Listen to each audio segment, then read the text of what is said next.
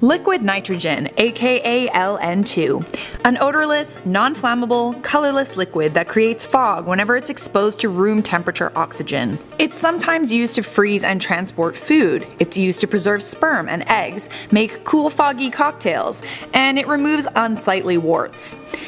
We've all seen videos of people dumping objects into liquid nitrogen, but what would happen if you fell into a pool of liquid nitrogen? That is the question we are asking right now on Life's Biggest Questions. Hello and welcome back to Life's Biggest Questions, the channel that asks the fundamental questions of life, and occasionally we answer them too if you're lucky. I'm Charlotte Dobre, it is nice to meet you, and I can tell we are gonna be friends.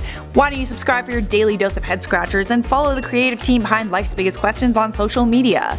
All the links to our socials are posted in the description of this video. Liquid nitrogen.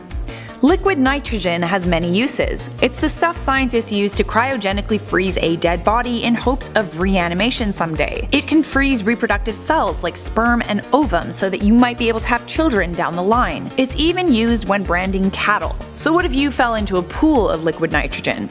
The short answer? It wouldn't be pretty, you would die. Liquid nitrogen is a cryogenic fluid that can cause rapid freezing on contact with living tissue.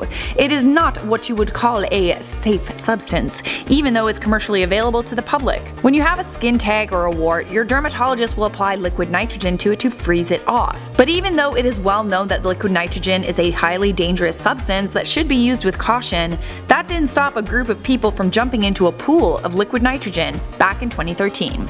Yes, I am serious, that actually happened.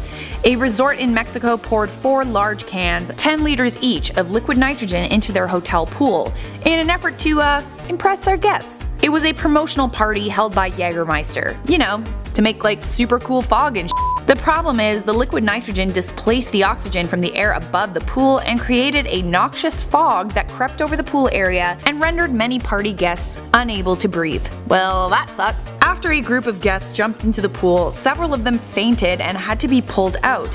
One man was in a coma and eight others were hospitalized. The good news was the four cans of liquid nitrogen were added slowly to the pool water. It boiled off in the water before it made contact with anyone's skin. So kids, you should probably think again if you ever become overwhelmed with the desire to have a foggy liquid nitrogen pool party. If that many people were hurt by dumping only 4 cans of liquid nitrogen into a pool, imagine what would happen if the entire pool was filled with the stuff. Upon first falling into liquid nitrogen, you would experience a freezing sensation all over your body. Depending on how quickly you got out of that pool, you might not experience frostbite or skin damage because of something called the Leidenfrost effect. A temporary vapor barrier would immediately form upon contact with liquid nitrogen, and that would protect you from freezing solid. Liquid nitrogen boils at a very low temperature of negative 196 degrees Celsius or negative 320 degrees Fahrenheit. It beads up and creates a layer of vapor when it touches any surface at room temperature. But if you happen to spend an extended period of time in said pool of liquid nitrogen, you would probably never get out. Your body would become completely covered in severe frostbite on the outer layer of your skin. Then the liquid nitrogen would work its way inside you. It would penetrate your fat, your muscles, blood, and every part of your body would be frozen into a solid. If your head was above the surface of the pool, your entire body would freeze into a solid mass, and then you'd sink to the bottom. Yay. More good news, the damage inflicted would be so severe and so quick that you wouldn't feel anything. Your nerves would be completely shot. And yes, that is good news.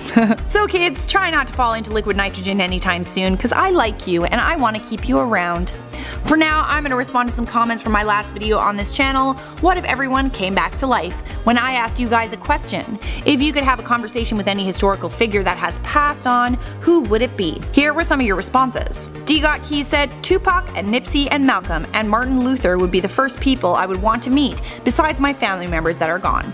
Good answers. Would definitely love to pick Martin Luther's brain for a day. To decipher the rapper said, I just want one day with Robin Williams to speak to him. Oh, that one hit me in the feels. I don't know what this is yet said, if everyone was resurrected, I would, being the nerdy person I am, seek out famous scientists like Pythagoras and Archimedes. You know what, you should hang out with Pythagoras and troll him with flat earth questions. He'd hate it. That is all for this video and thanks for watching Life's Biggest Questions. If you like this video you will love the playlist that is currently flashing on your screen. And don't forget to leave a like, subscribe, and turn on notifications, and I will see you in a future episode of Life's Biggest Questions.